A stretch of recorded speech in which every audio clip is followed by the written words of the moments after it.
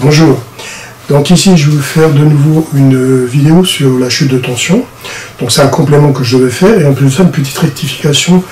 Euh, je l'ai mis sur la formule euh, comment, euh, comment R est égal à ρ fois L sur le symbole du diamètre. J'ai mis mm carré, donc il y en a qui ont traduit tout de suite que c'était bien la surface mais euh, euh, j'ai un internaute qui m'a interpellé pour ça, que j'aurais dû mettre S, et, il a entièrement raison, donc euh, je vais le rectifier sur celui-ci, mais je voulais faire le contraire, là, sur cette vidéo, c'est de calculer le diamètre en fonction de la, valeur ohmique que, maximum que je dois avoir sur mon réseau.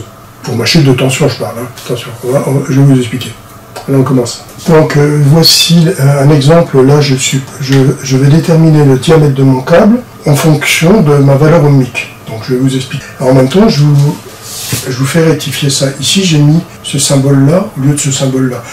Euh, mais comme j'ai mis millimètre carré, je sais qu'il y en a qui ont rectifié de tête, ils ont dit, bon, c'est bien la surface, mais c'est vrai qu'il faut mettre S, ρ fois L, donc la longueur, sur la surface de mon câble. J'avais mis 2,5 euh, mm donc euh, je l'ai mis dans la, la face en dessous, donc il y en a qui l'ont compris tout de suite.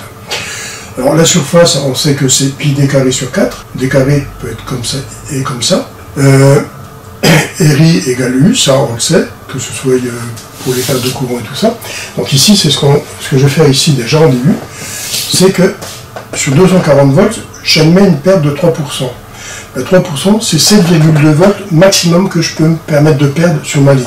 Mon câble, il fait 50 mètres de long, ici, et 16 ampères. J'ai gardé 16 ampères comme sur les autres exemples. Qu'est-ce que je vais faire maintenant? Je vais déterminer ma valeur ohmique. On sait que R est égal à R maximum, ici, c'est 7,2 divisé par 16, puisque on a déterminé sur l'autre que c'était ça fois ça, me donnait le voltage que je perds.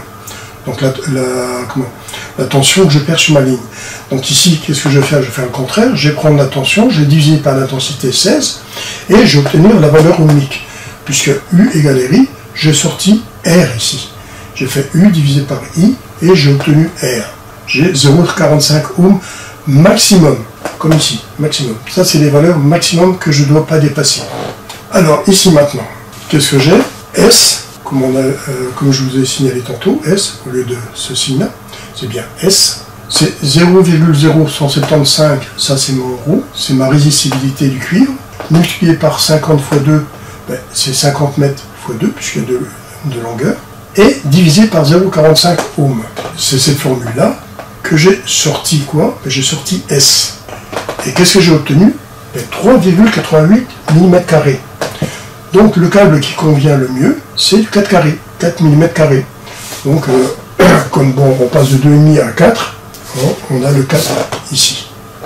Vous voyez? Donc c'est comme ça qu'on peut faire aussi, euh, surface de câble, et notre diamètre, si on veut déterminer le diamètre, à ce moment-là, on fera pi au carré sur 4 pour obtenir notre diamètre. Mais bon, là, ici, nos câbles sont déjà en, millimètres carrés, c'est pas la peine d'aller chercher midi à 14 heures.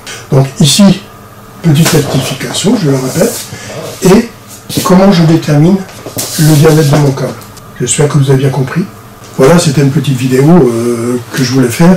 Je voulais la faire déjà à la base, et puis bon, comme bon, il y a l'internaute qui a interpellé, ben, j'ai dit je vais la faire tout de suite, comme ça, ça sera fait. Et on, passera euh, sur autre chose.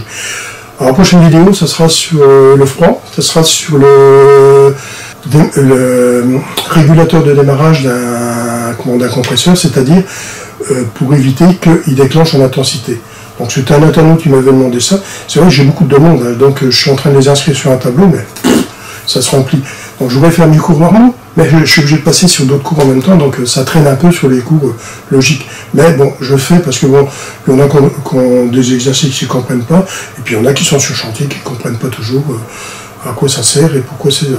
Donc, ce sera sur le froid la prochaine. Ok? Allez, je vous souhaite une bonne fin de journée, à bientôt.